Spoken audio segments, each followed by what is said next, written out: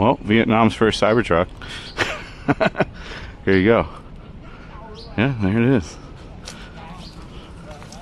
Yeah, it'll be a Cybertruck, dude. There you go. Foundation edition, too. So it's a Foundation Founders edition.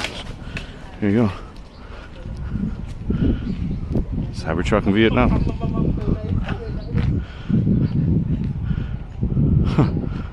Wouldn't think you would see. There's only one other Tesla I even know about, a P100D plaid black one that runs around. We'll throw this on the YouTube shorts. So over at Empire City, so a foundation edition of Elon is found.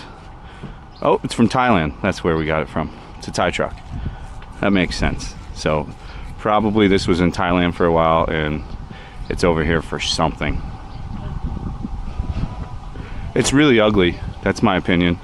I'm like a cyberpunk and into this kind of stuff, but I would never, I would never buy what, what this. It looks super impractical. The fingerprints would drive me nuts. Like I have a Razer laptop. It's like a MacBook. It's like driving around a big MacBook.